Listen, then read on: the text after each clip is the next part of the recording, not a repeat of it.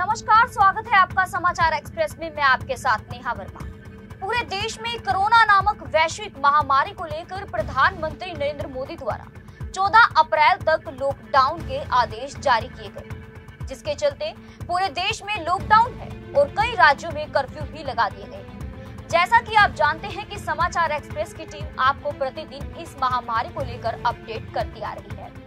बुधवार को जहाँ समाचार एक्सप्रेस की टीम ने आपको करनाल की सड़कों और बाजारों का हाल बताया था तो वहीं वीरवार को टीम ने करनाल के सामान्य अस्पताल का दौरा किया और वहाँ इस बीमारी से निपटने के लिए की गई व्यवस्थाओं का जायजा भी लिया।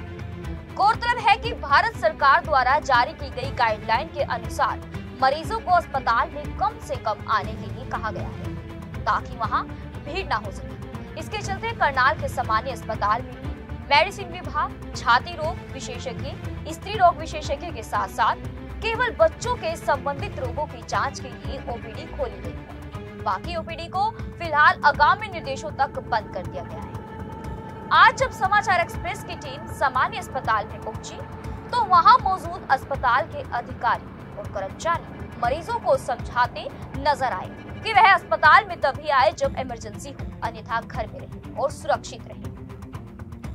एक डिस्टेंस को मेंटेन करने के लिए अस्पताल के कर्मचारी लोगों को एक दूसरे से दूर करते नज़र आए और सफ़ेद पट्टी का निशान लगाते हुए नज़र आए, जहाँ पर मरीजों को खड़ा होने के लिए कहा गया।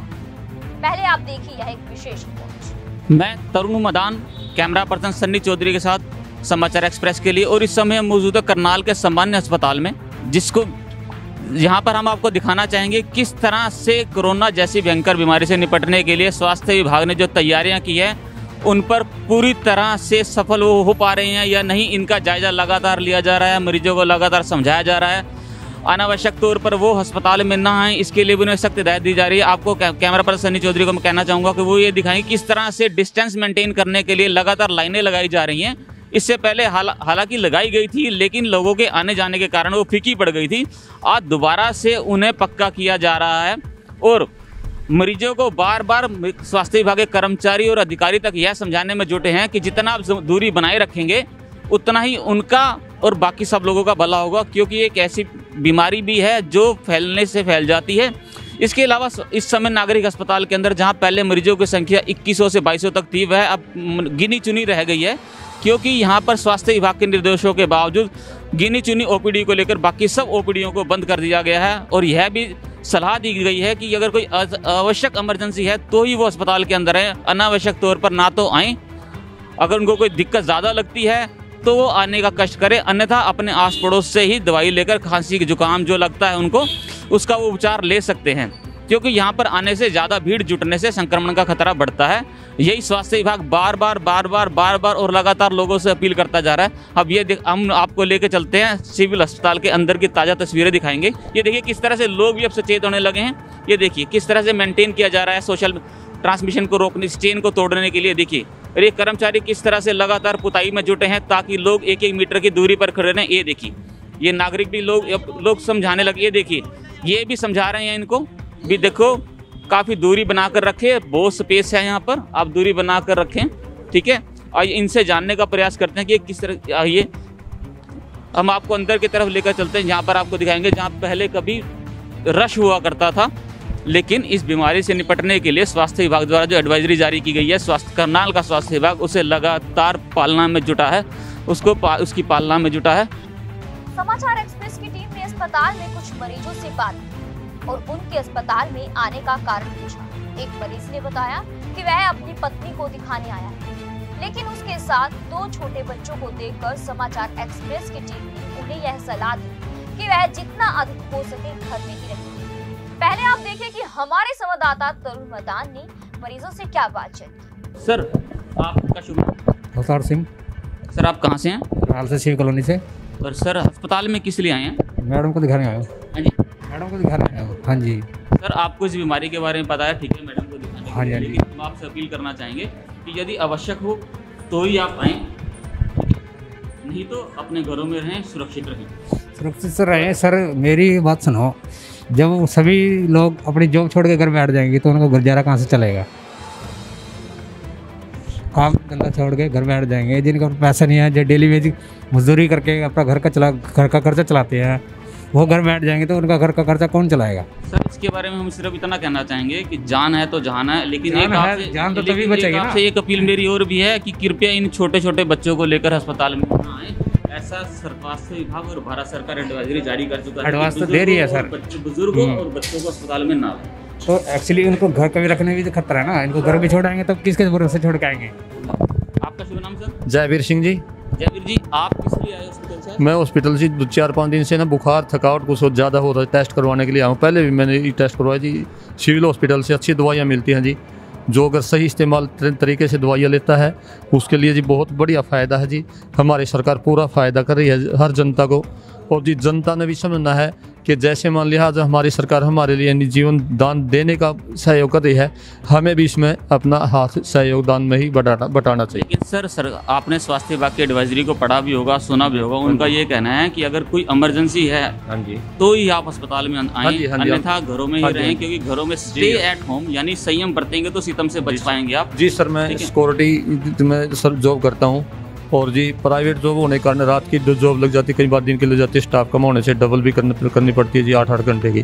तो इसलिए सर थोड़ा हानि थकावट ज़्यादा महसूस होने के कारण जी इसलिए मैं सिविल हॉस्पिटल में आया हूँ जी। जी हम तो कहेंगे आप हमारी शुभकामनाएँ आपके साथ हैं आप स्वस्थ रहें। इतना ही नहीं सामान्य अस्पताल के सामने दुकानों के बाहर भी सफ़ेद पट्टी नज़र आई जहाँ मरीजों को खड़ा होने की सलाह दी गई। और यह कहा गया कि वह एक एक करके आगे आएँ और दवा ले लें अधिक भीड़ ना ही करें। इस बारे में एक दवा विक्रेता से बातचीत की गई तो उन्होंने बताया कि जितना हो सके हम अपने आप को सुरक्षित रखें। ज़रूरत हो तो घरों से बाहर आए, अन्यथा घर में ही देखिए एक विशेष रिपोर्ट। इस समय हम मौजूद हैं करनाल के सामान्य अस्पताल के सामने स्थित दवाइयों की दुकानों पर। यहाँ पर मैं एक दुकान का नज़ारा दिखाना चाहूँगा, जिस तरह से पीएम मोदी ने लक्ष्मण रेखा खींचने की बात कही थी। कुछ इसी तरह से समाज के जागरूक लोगों ने एक लक्ष्मण रेखा खींच दी है। मैं कैमरा पर्सन सनी जी सनी जी को कहना चाहूँगा कि ये लक्ष्मण रेखा जो व्हाइट कलर की लगाई गई है, कृपया इसको दिखाने का प्रयास करें ताकि अधिक से अधिक लोग जागरूक हो सकें।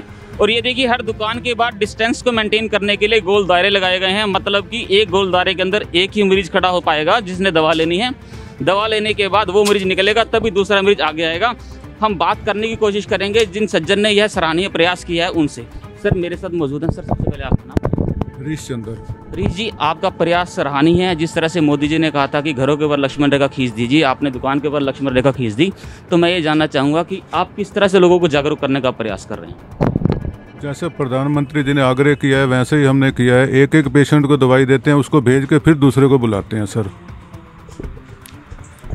सर जो सामान्य अस्पताल से आपके पास मरीज़ आते थे अक्सर उन पर अच्छा खासा फ़र्क पड़ा होगा? सामान्य अस्पताल में बहुत कम मरीज़ आ रहे हैं इस टाइम सर आप क्या समाज को क्या अपील करना चाहेंगे? कम से कम घर से बाहर निकलो और ज़रूरी हो तब निकले वरना मत निकलें। देखिए सर इनका भी यही कहना है कि ज़रूरी हो तो ही घर से निकले अदरवाइज़ स्टे एट होम ही इस बीमारी से बचा जा सकता है। एक बार फिर से ये प्रयास और मैं लोगों से यही अपील करना चाहूँगा कि ऐसी ही लक्ष्मण रेखा वो भी अपने घरों के बाहर अपनी दुकानों के बाहर खींच लें ताकि डिस्टेंस बना रहे और यह बीमारी ना फैले। मैं तरुण मदान कैमरा पर्सन सन्नी चौधरी के साथ समाचार एक्सप्रेस के लिए। इसके बाद समाचार एक्सप्रेस की टीम ने करनाल के सीएमओ डॉक्टर अश्विनी आहूजा से विशेष बातचीत समाचार एक्सप्रेस के साथ बातचीत के दौरान सीएमओ डॉक्टर अश्विनी आहूजा ने बताया कि करनाल में अभी तक कोरोना का एक भी केस पॉजिटिव नहीं पाया गया बुधवार शाम को चार सैंपल लिए गए, जिनकी रिपोर्ट आनी अभी बाकी है। इसके अलावा इससे पहले लिए गए तेईस सैंपल नेगेटिव पाए गए। व्यवस्थाओं को लेकर उन्होंने जानकारी दी कि करनाल का स्वास्थ्य विभाग अपना शत प्रतिशत सहयोग दे रहा है और जनता से भी अपील करता है कि वह भी अपना शत प्रतिशत सहयोग ताकि इस महामारी से बचा जा सके। बातचीत के दौरान उन्होंने बताया कि करनाल ज़िले में इस समय करीब 90 से पचानवे मरीज़ होम क्यूरिटाइन हैं और इससे पहले करीब 140 मरीज़ अपना 28 दिन का क्यूरिटाइन पीरियड पूरा कर चुके हैं। सभी के सभी मरीज़ एसिम्टोमेटिक पाए गए हैं, जबकि 375 मरीज़ ऐसे हैं जिन पर लगातार स्वास्थ्य विभाग की नज़र है। एक सवाल के जवाब में उन्होंने बताया कि यदि निकट भविष्य में यह बीमारी फैलती है तो इससे निपटने के लिए स्वास्थ्य विभाग के पास पर्याप्त मात्रा में साधन उपलब्ध है। उन्होंने जानकारी दी जबकि मौजूदा समय में सामान्य अस्पताल में तिरतालीस और मेडिकल कॉलेज में 80 आइसोलेशन बेड और मेडिकल कॉलेज में वेंटिलेटर सुविधा भी उपलब्ध की गई है। इसके अलावा सरकार के निर्देशों के अनुसार निजी अस्पतालों से भी बात की जा रही है। आवश्यकता पड़ने पर बड़े और निजी अस्पतालों की सेवाएँ ली जा सकती है। एक अन्य प्रश्न के जवाब में उन्होंने बताया कि नेवल में जो अस्थायी अस्पताल में बनाया गया है, वहाँ मौजूद समय में आठ लोग हैं। इसमें चार लोग कल ही आए हैं। इनकी ट्रेवल हिस्ट्री है और वो लोग हाई रिस्क एरिया से आए इनकी जाँच के लिए डॉक्टर, काउंसलर और एंबुलेंस जैसी सभी सुविधाएँ 24 घंटे तैनात हैं।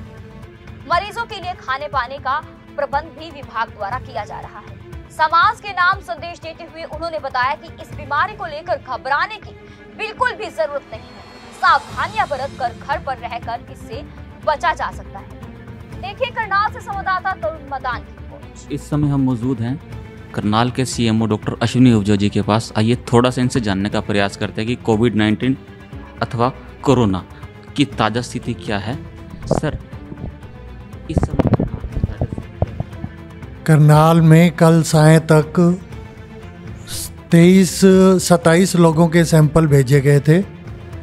जो चार सैंपल उसमें सत्ताईस में से कल लिए गए थे। तेईस सैंपलों की रिपोर्ट हमारे को कल शाम को रिसीव हो चुकी थी। तेईस के तेईस अभी करनाल में नेगेटिव हैं। कोई भी केस अभी करनाल ज़िला में पॉजिटिव नहीं मिला है।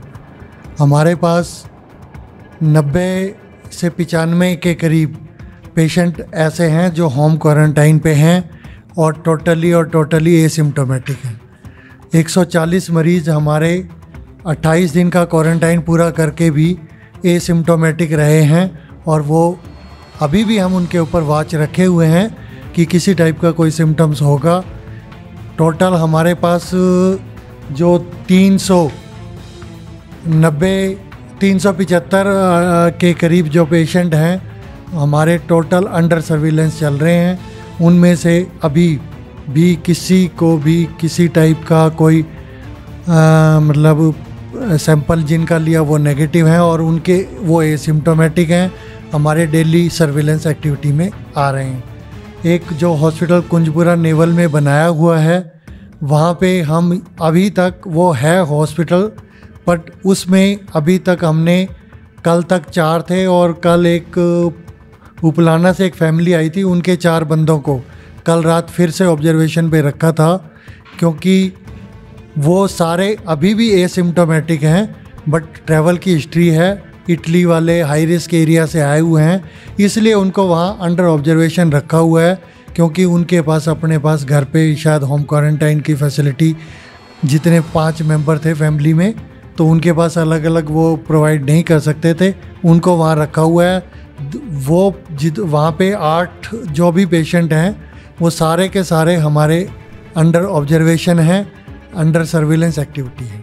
कोई भी उनको एक काउंसलर भी भेजा जा रहा है। उनके तहत उनकी डाइट का अरेंजमेंट एडमिनिस्ट्रेशन द्वारा भी किया गया है और एंबुलेंस सेवा भी दे रखी है डॉक्टरों की ड्यूटी भी लगा रखी है। किसी भी टाइप का कोई भी मतलब उनके अंदर कोई लक्षण होगा तो अकॉर्डिंगली वो हमारे हेल्पलाइन नंबर पे या वहाँ की टीम हमारे को इन्फॉर्म करेगी। और हमारे हॉस्पिटल में 43 बेड्स आइसोलेशन के लिए जनरल अस्पताल में और 80 बेड कल्पना चावला में तैयार हैं किसी भी टाइप की इमरजेंसी को टैकल करने के लिए।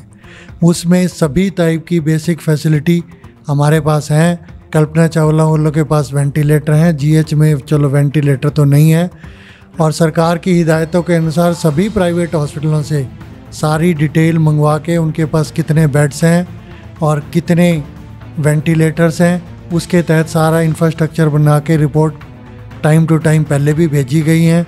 आज फिर महानिदेशक द्वारा कोई डिटेल रिपोर्ट मांगी गई है, वो अभी बना के भेजी जा जैसे अस्पतालों से मांगा गया था, किसी अस्पताल ने हाँ भरी है कि वो अपना हॉस्पिटल इस बीमारी फैलती है तो उसको देने के लिए तैयार हुआ?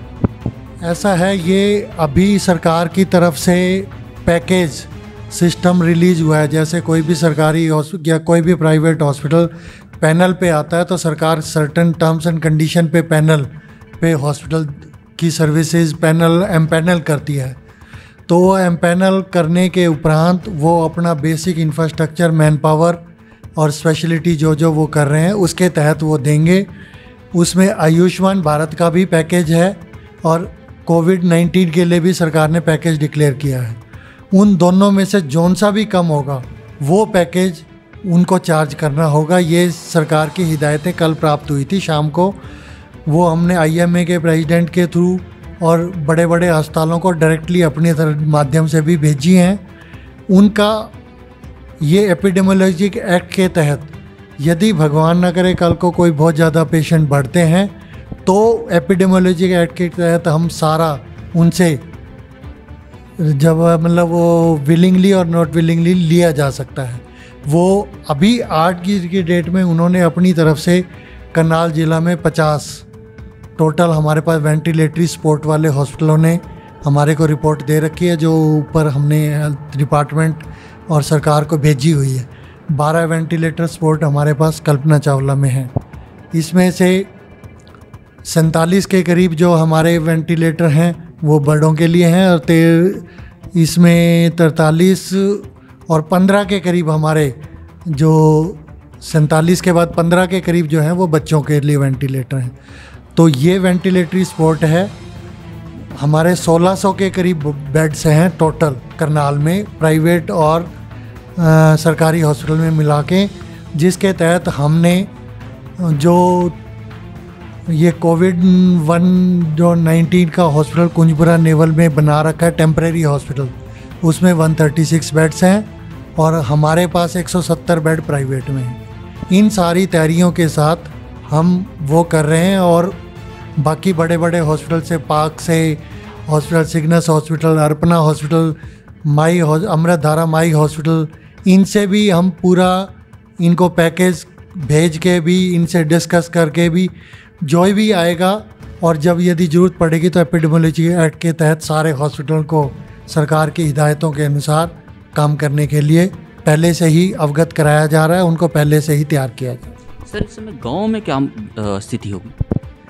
गाँव में कहीं पे भी पूरे मैंने आपको जैसे अभी बताया, तीन सौ पिचहत्तर प्लस तीन सौ अस्सी के आसपास जो बंदे हैं, जो ट्रैवल हिस्ट्री हमारे को सेल्फ डिक्लेरेशन के तहत या आप लोगों के माध्यम से, या एडमिनिस्ट्रेशन के माध्यम से, या हमारे वर्करों के, टीम करने टीम व एफर्ट्स के माध्यम से सारा टोटल जितना मैन पावर है, वो जिसकी भी इंफॉर्मेशन किसी भी माध्यम से हमारे पास आई है तो हम उसको अंडर सर्विलेंस एक्टिविटी में डाल देते हैं।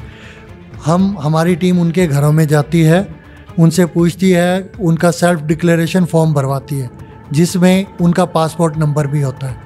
वो कौन से कंट्री गए थे और उस कंट्री में कब वापस आए हैं, उनका हम चौदह दिन क्वारंटाइन करते हैं।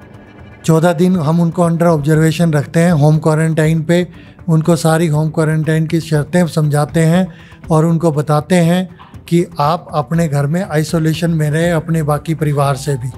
और कोई भी लक्षण आएगा तो हमारे को हेल्पलाइन नंबर पे इन्फॉर्म करें। पर्टिकुलर दो एंबुलेंस इसके लिए भी तैयार की हुई हैं। एंबुलेंस के माध्यम से हम उनको पर्सनल प्रोटेक्शन करते हुए, उनकी भी प्रोटेक्शन करते हुए हॉस्पिटल में लेके आएँगे। स्पेशलिस्ट डॉक्टरों से जाँच कराएँगे। यदि उनको आइसोलेशन में रखना होगा तो रखा जाएगा और सैंपल भेजना होगा तो सैंपल भेजा जाएगा। सर कोई ऐसा पेशेंट भी है जो इसकी ट्रैवल हिस्ट्री और अभी तक ट्रेस आउट ना हो? ये travel history self declaration form पे बेस पे है। सेल्फ डिक्लेरेशन यदि आपने या मैंने अपना नहीं किया तो वो प्योरली और प्योरली हमारी अपनी भी एक सोशल रिस्पॉन्सिबिलिटी के तहत हम हमारी अपनी कमी है। हमारे पास जहाँ से भी आ रहा चाहे सरकार के पैन माध्यम से आया, चाहे एयरपोर्ट के माध्यम से आया इनिशियली जो हमारे पास 200 के करीब लिस्ट आई थी, वो प्योरली हमारे पास एयरपोर्ट से और स्टेट की तरफ़ से आई थी। 580 की एक लिस्ट एक बार आई थी, जिसमें हमारे ज़िला के पिचासी के करीब वर्कर चाहे बंदे थे पैसेंजर थे, जो विदेश से ट्रैवल करके आए थे। उसके बाद से सारी हमारी टीमों ने सर्च करके सभी ब्लॉकों से, सातों ब्लॉकों से टोटल ले रखा है। अब भी कभी अब हमारे पास आता है कि फ़लाँ गाँव से हम बोल रहे हैं, जी, वहाँ पे एक फ़लाँ गाँव से फ़लाँ देश से ट्रैवल करके आया हुआ है। तो हम उनसे व्हाट्सअप मैसेज पे या एसएमएस मैसेज पे उसकी डिटेल मंगवाते हैं, देखते हैं हमारे सर्विलेंस पे यदि नहीं है तो हम उससे वो डिटेल लेके हम अपने सर्विलेंस एक्टिविटी में उसको डालते हैं और अकॉर्डिंगली उसके घर पे टीम भेज के उससे सारी डिटेल सेल्फ डिक्लेरेशन फॉर्म भरवाते हैं। सर लास्ट में आप समाज से क्या अपील करना चाहेंगे? समाज से मैं यही कहना चाहता हूँ, किसी भी सेंस में उनको कोविड 19 से डरने की ज़रूरत नहीं है। हमारे भारतीय कंडीशन में, हरियाणा के रहने वालों में, हमारी जितनी क्लाइमेटिक कंडीशंस हैं, जितने हमारा सरकमस्टांसेस हैं, ये सारे हमारे अंदर भगवान की तरह से काफ़ी अच्छी इम्यूनिटी देते हैं। और अभी सिर्फ़ और सिर्फ़ जिनके चाहे नॉर्मल फ्लू है या किसी टाइप का भी फ्लू है, उनको आप बंदों से एक या डेढ़ मीटर के डिस्टेंस में रह के पर्सनल प्रोटेक्टिव मैयर चाहे आप अपना गमचे से तीन चार लेयर में बाँध के अपना फेस मास्क बनाएँ, चाहे आपको फेस मास्क मिल गया है तो वो यूज़ करें। और नहीं तो आप रुमाल को चार लेयर में फोल्ड कर लें, दो रुमाल को उसको डबल लेयर में यदि करेंगे तो वो चार लेयर बन जाएँगी। उसको लेके अपना बाँध के रखें। पाँच घंटे बाद उसको गर्म पानी से धो के थोड़ी देर बाद उसको सूख जाते हैं, दोबारा यूज़ कर सकते हैं। सबसे बेस्ट और एक हैंड प्रैक्टिस दिन में कम से कम आठ से दस बार लिक्विड सोप से अपने हाथ धोएँ। अच्छी तरह से उंगलियों के बीच में हाथ धोएँ। किसी टाइप से किसी को डरने की ज़रूरत नहीं है। यदि डरें, डरेंगे तो हमारी इम्यूनिटी भी उतना काम नहीं करती। बॉडी हमारी इम्यूनिटी किसी भी टाइप के वायरल को बाहर फेंकने की शक्ति रखती है, यदि हम, मैं एक संदेश उन लोगों के लिए ज़रूर देना चाहता हूँ जो एज्ड हैं, या जो शुगर या किसी और सिस्टमिक बीमारी से सीरियस बीमारी से हार्ट डिज़ीज़ से अस्थमा से, इस टाइप की किसी बीमारी से ग्रसित हैं, वो अपना स्पेशल प्रोटेक्शन रखें और उनके अंदर किसी टाइप का कोई भी यदि लक्षण आता तो अपने कंसर्न डॉक्टर से मिल लें। सैंपल सरकार की हिदायतों के अनुसार यदि लिया जाएगा तो अभी तक जैसे पैसेंजर है या कोई लैब डायग्नोस्टिक पेशेंट है, उनके कंटेक्ट में आने वालों के सैंपल लिए जा रहे हैं। हर एक बंदे के सैंपल नहीं लेने हैं। वो डब्ल्यूएचओ भारत सरकार, हरियाणा सरकार की गाइडलाइन के अनुसार वो कार्य हम अपनी तरफ़ से बखूबी करने की कोशिश कर रहे हैं। जनता को मैं अश्योर कर रहा हूँ, अपनी तरफ़ से हम अपना हंड्रेड परसेंट देंगे। जनता को भी सहयोग की अपील करता हूँ कि वो अपने घर में होम क्वारंटाइन वाले होम क्वारंटाइन फॉलो करें। अपनी इस जो भी डिफरेंट डिफरेंट बीमारियों के लिए यदि वो अपने ट्रीटमेंट पे हैं तो वो अपना रेगुलर ट्रीटमेंट लें और अपने पर्सनल प्रोटेक्टिव मैयर जैसे हैंड वॉशिंग और फेस मास्क का प्रयोग करें और किसी भी टाइप से किसी को घबराने की ज़रूरत नहीं। देखिए, ये थे हमारे साथ सीएमओ डॉक्टर अश्विनी विजय जी, जिन्होंने बताया कि इस बीमारी से बिल्कुल भी घबराने की ज़रूरत नहीं है। स्वास्थ्य विभाग अपना 100 परसेंट दे रहा है और यदि समाज भी अपना 100 परसेंट देगा तो इस बीमारी से लड़ा जा सकता है, इस बीमारी को भगाया जा सकता है, क्योंकि हरियाणा या भारत भारत के लोगों का स्वास्थ्य अथवा वातावरण ऐसा है कि उनका इम्यून सिस्टम ज़्यादा बेहतर रहता है और वो इस बीमारी से लड़ भी सकता है, इसलिए इस बीमारी को लेकर बिल्कुल भी घबराना नहीं है। मैं तरुण मदान, कैमरा पर्सन सनी चौधरी के साथ समाचार एक्सप्रेस के लिए धन्यवाद। ऐसे ही लेटेस्ट खबरें पाने के लिए बेल आइकन को क्लिक कर हमारे चैनल को लाइक, शेयर एंड सब्सक्राइब करें। धन्यवाद।